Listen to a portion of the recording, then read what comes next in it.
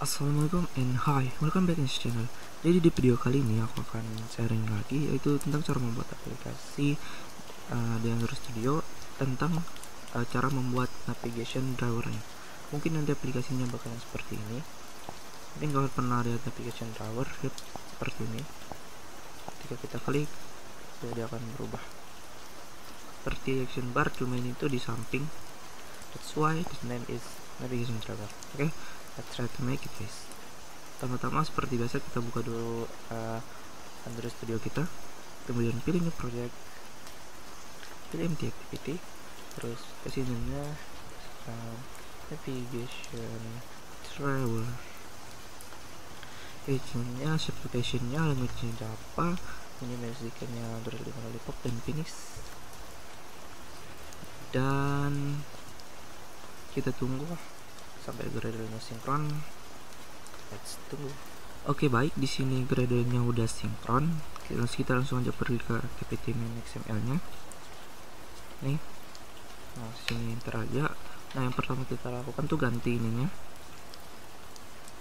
Oke ganti ininya menjadi android x dot drawer layout widget drawer. Nah di sini kita langsung kasih ID aja buat manggilinnya nanti. Misalkan ID nya my driver layout nah kayak gini. Ini kita bisa hapus saja nah di sini kita akan menggunakan linear layout. Jadi match parent match parent. Match parent match parent dan jangan lupa kasih orientation. Lantusannya vertikal. Oke. Okay. nah di bawah di dalam layout kita akan membuat frame layout. Frame layout. Kita akan membuat frame layout. Dia aja match parent parent agar nanti ketika menunjukkan dia uh, tampilan ininya akan berubah gitu jangan lupa kasih ID ID misalkan FL konten konten oke bisa catat nah. Lalu kita buat menu tampilan untuk application drawernya. Pakai com.google.android navigation view. Nah ini pilih aja buat konten match parent. Dia belum kelihatan nah selanjutnya kita buat layout graffitinya jadi star agar agar dari sini. Nah ini udah kelihatan. Nah ini. Oke jangan lupa kita kasih ID biarkan ID nya nv view. Oke. Nah selanjutnya kita akan membuat toolbar dan menunya. Kita akan membuat toolbar dan menunya dari toolbarnya tuh kita nggak akan buat sini tapi kita akan buat di file XML yang berbeda. Di sini kita buat toolbar dulu. Toolbar. Oke kita buat toolbar. Ininya ganti aja. Android X widget toolbar. Kasih ID ID nya toolbar. Terus backgroundnya bisa pakai bebas misalkan ini. Uh, warna ini. Warna server 700 nah jadi kita hanya akan membuat toolbar bukan full kayak gini. Jadi kita pakai min height. Min height nya itu ini attr slash action bar size sini kita ganti jadi web content. Nah dia udah jadi gini untuk toolbarnya. Kemudian kita tambahkan page system windows true oke ini udah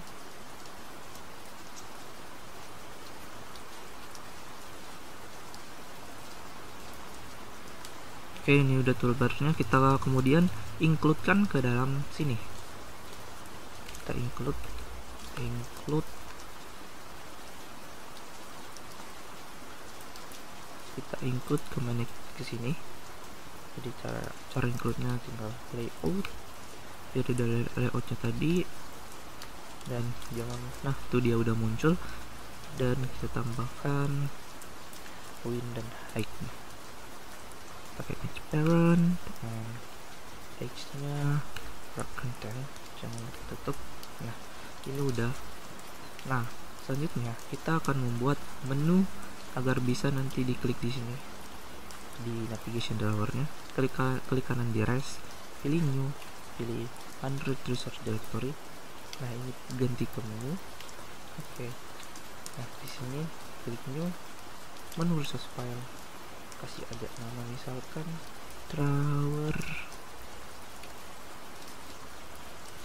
Menu. Drawer menu. Nah di sini kita buat menunya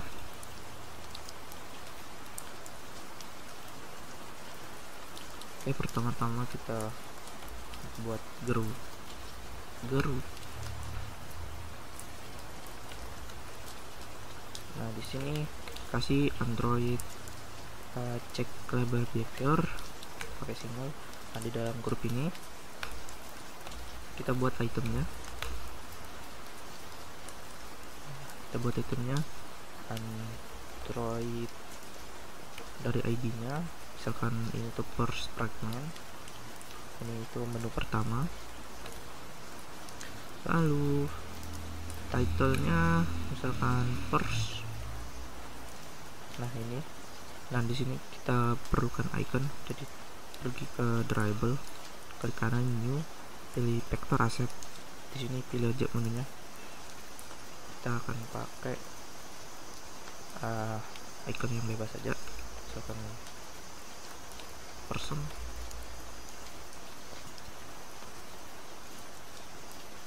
oke misalkan ini person. Kita pakai person kita akan buat sampai tiga menu. Berarti kita butuh tiga icon sekarang atau setting. Ini. Dan misalkan calls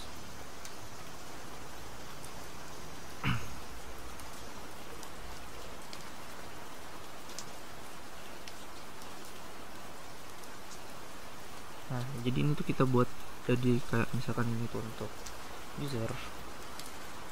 Nah kita kasih ikonnya. Kita kasih ikonnya add. Drivable nah pilih yang ini sesuai yang ini. Dia nggak akan nampil sini tapi ini dia udah nampil nah selanjutnya sama sampai tiga item berikutnya. Ini bisa dikontrol dia aja buat copas ke bawah. Ini kita ganti jadi user ini jadi call. Ganti jadi call. And call. Selanjutnya juga ke bawah sama. Kontrol aja tinggal ganti. Ini jadi setting. Ini jadi setting. Kita ganti jadi setting nah selanjutnya ini kita includekan lagi ke sini ke navigation view nya kita includekan lagi. Nah caranya tinggal add menu pilih menu extra menu. Nah nanti dia akan tampil di sini. Oke selanjutnya setelah itu kita akan pergi ke main activity nya nah seperti biasa di main activity inisialisasikan di sini kita panggil yang udah kita buat di activity main .xml nya. Kayak travel layoutnya tadi. Tower oke. Private toolbarnya juga.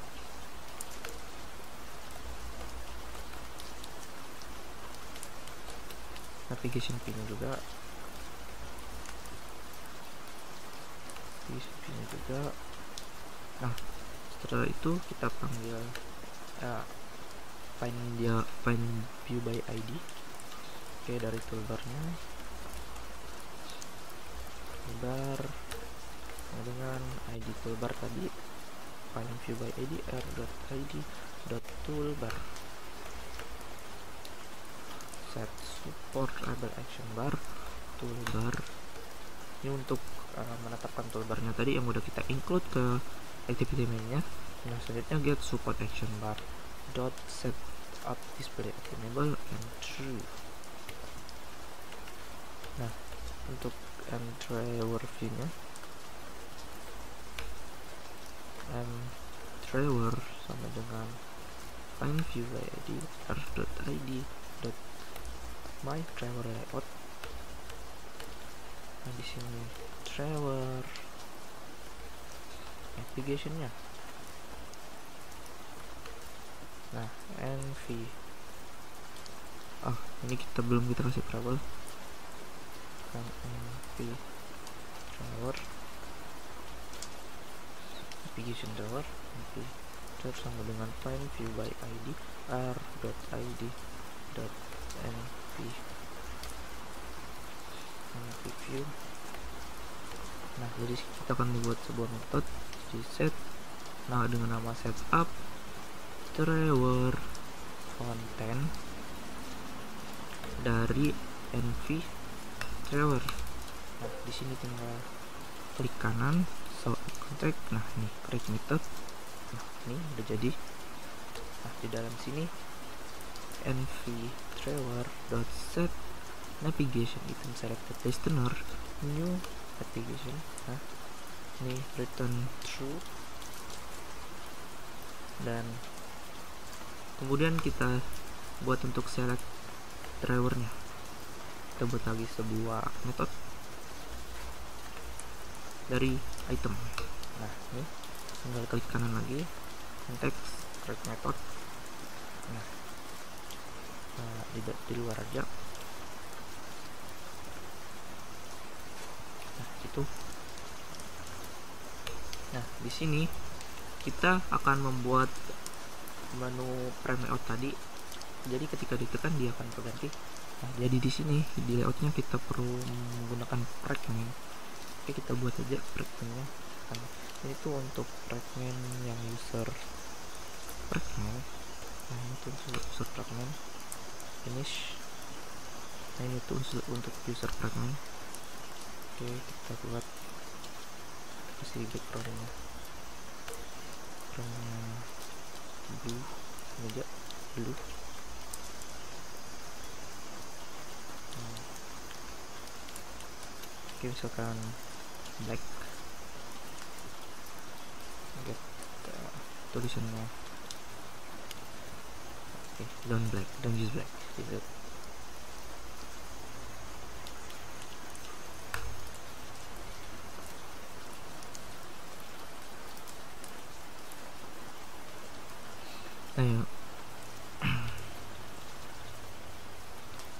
misalkan sini tuh kita kasih backgroundnya tuh tier 700 kayak gini terus ini tuh center um, gravity center. Uh, text tekstnya 32 sp text colornya white. Misalkan itu kan tadi untuk user fragment user user yang kayak gini. Selanjutnya kita akan buat untuk yang callsnya tadi. Untuk yang call kita buat lagi. Fragment fragment blank. Ini, ini call fragment. Oke fragment call. Sini kita edit lagi di sini kita edit lagi si background misalkan til 200 ininya samain aja kayak gini. Tinggal kita ganti biasanya di call. Nah dan yang terakhir untuk settingnya sama. Oke okay, setting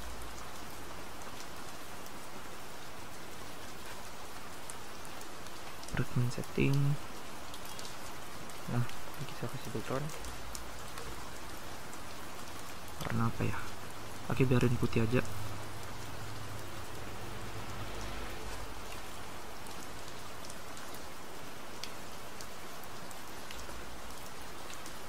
Nah kita kasih background warna apa ya? Kita kasih background warna kuning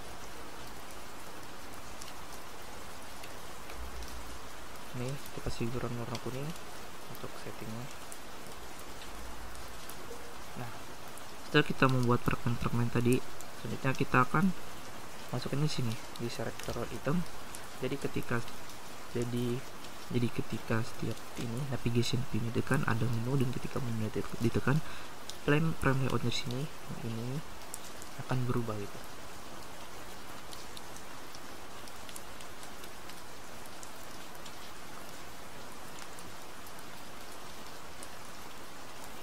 oke. Kita pergi ke main activity lagi. Nah di nah di sini kita akan uh, membuat ketika itu ditekan dia akan berubah. Select drawer item. Jadi dari fragment fragment sama dengan null kelas fragment kelas. Oke kita gunakan switch case switch item dot get item id jadi id dari cache untuk cache sesuai dengan id di menu yang udah kita buat tadi. Jadi untuk yang pertama user. Sebagai menu pertama.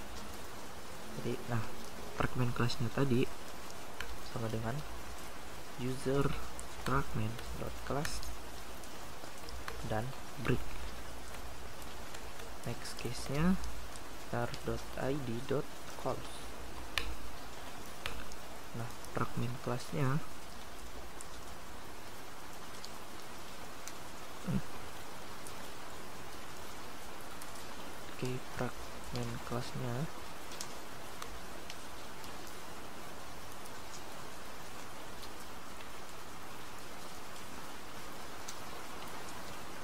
Di fragment kelasnya sama dengan call. Di uh, call fragment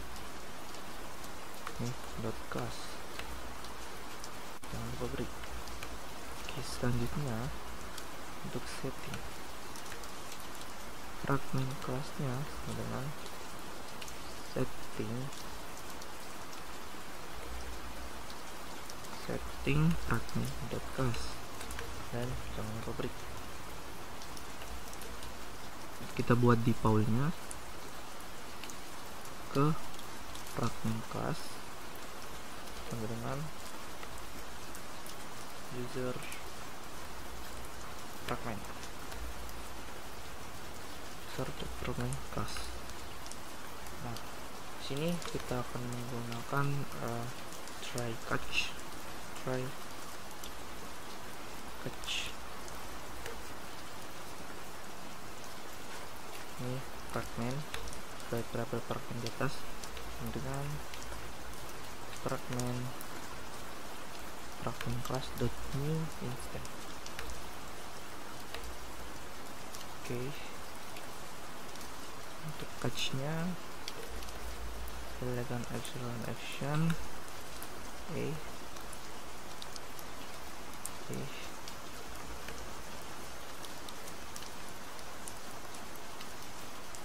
sini bukan ini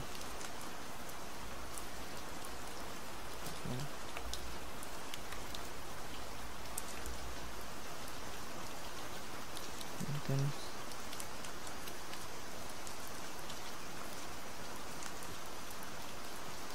tinggal a dot print structures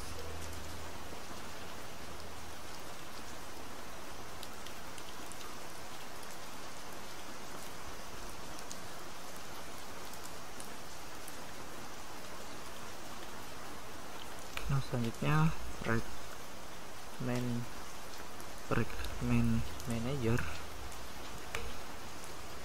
Fragment manager sama dengan get support fragment manager.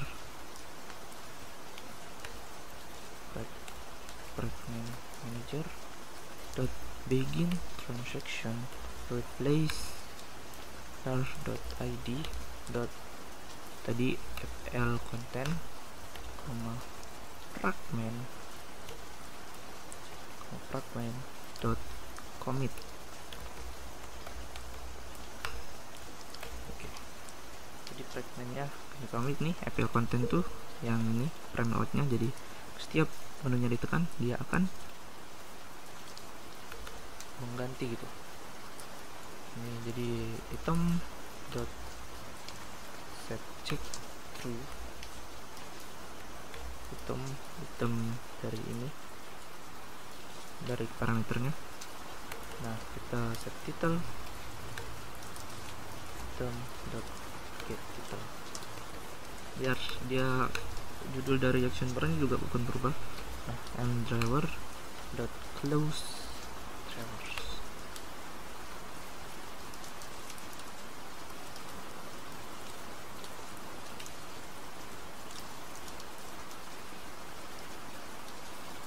nah selanjutnya untuk uh, nah selanjutnya kita akan menggunakan on option item selection.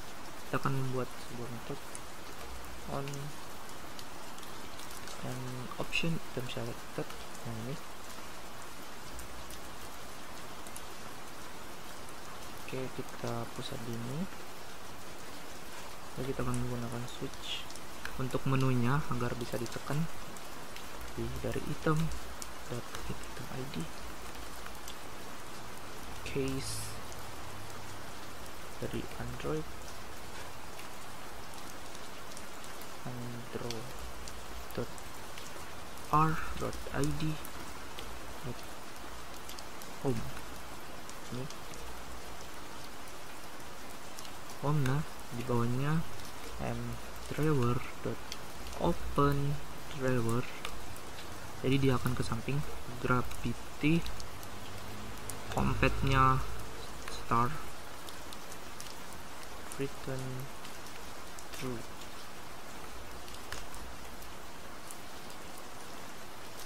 di sini tinggal return lagi. Return super dot. Option item selected pilih item nah di sini kayaknya udah. Ayo kita coba jalanin. Kita keluarin yang ini. Oke kita coba jalanin. Oke launching activity dan oke. Uh, kayaknya di sini masih ada yang salah. Masih ada yang error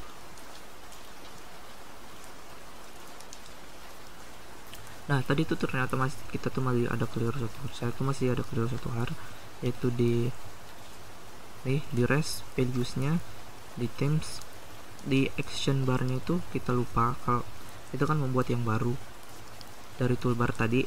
Nah dari sini kan udah ada otomatis. Nah jadi kita di sini tuh harus menggunakan yang no action bar. Dan ketika kita coba run lagi dan ketika kita coba run lagi nah baru dia bisa. Application driver user user calls call setting setting. Nah ya guys mungkin segitu aja untuk tutorial sharing hari ini. Jangan lupa have a nice day be yourself and stay classy